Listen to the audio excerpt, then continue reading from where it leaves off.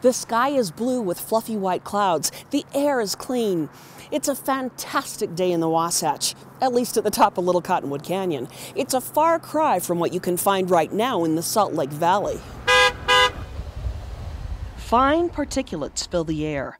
The level of pollutants is logged in real time at the Department of Air Quality's weather station at Hawthorne Elementary School. It's a better picture of, of what is the air that we breathe. The peaks in pollutants generally spike twice a day, morning and evening rush hour.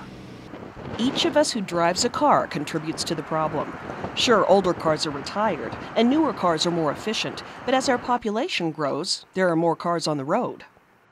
Experts estimate that about half of the dangerous pollutants in our air come from mobile emissions.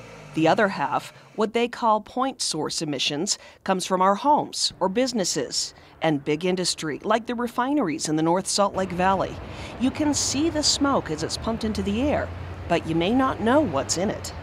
This is the peak right here for benzene. Well, we know that benzene comes from petroleum products. Every time you put gas in your car, um, you know, you could be exposed to benzene. I mean, it comes from fuel. Many industries leave a fingerprint of some kind on our environment. Whether it's an auto body shop, a bakery, or a fast food restaurant, experts can follow the compounds in the air and the direction they are moving in the wind.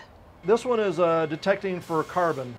Of course, industry like this is often the target of the accusatory finger pointing blame for the smog problem. But the air we see and breathe today is nothing like it was in the mid 1980s when at the north end of Utah Lake, Geneva Steel was fully operational. Experts estimate that on a bad day, Geneva was responsible for 50 to 60 percent of the pollutants in the air. The steel mill opened in 1944 to enhance the national steel output during World War II. The process of refining steel involved coal fired furnaces, sending a seemingly constant plume of smoke into the air. An environmental economist at BYU was quite curious about the effects those emissions were having on public health then, coincidentally, a work stoppage hit Geneva. Arden Pope found it a perfect time to do some research. Pope gathered data from hospital admissions throughout northern Utah from the time before Geneva closed, during the closure, and after it reopened. He was specifically interested in the records of children suffering poor respiratory health. So it, it turned out the results were quite dramatic and quite, quite obvious that Geneva Steel had a substantial uh, impact on the air quality in the valley and that that air quality was impacting the health of our, of our children.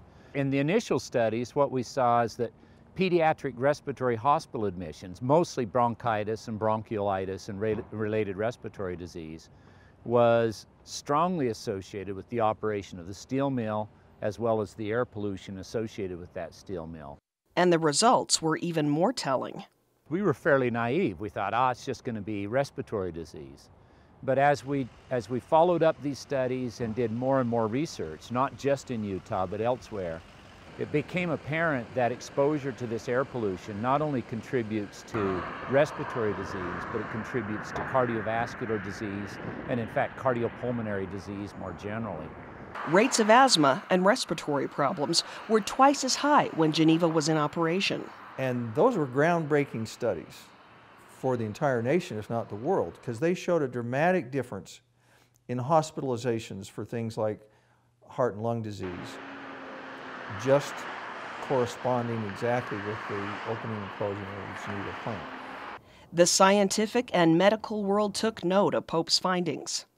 And even today, watchdog groups use his data as ammunition to take industry to task for causing disproportionate levels of damage to an environment that affects us all. They will just continue to do them as long as they can until there's enough public outcry to say you can't do that anymore. I mean, Moms for Clean Air is one group in the process of suing Kennecott, which admittedly is responsible for nearly 6% of the toxins in our air. Most of our refineries um, and whatnot are in compliance with federal laws. They're still externalizing a lot of their costs of their air pollution onto the community. Yet experts at the mining operation contend they're cleaning it up. In order to continue to be able to operate here, we've had to make major investments and take a lot of steps to actually create, uh, uh, mitigate our impacts. For example, we've invested a billion dollars in our smelter. It's one of the cleanest and the most modern in the world. Primarily what you see is steam coming out of there. Yet critics refute that, including another party to the lawsuit, Utah Physicians for a Healthy Environment.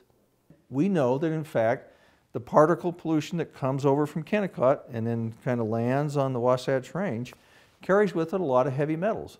That's no surprise. That's what's going on out there. They're mining metals. But in fact, we can prove it. We, we can take that particle pollution, analyze it, and know where it came from.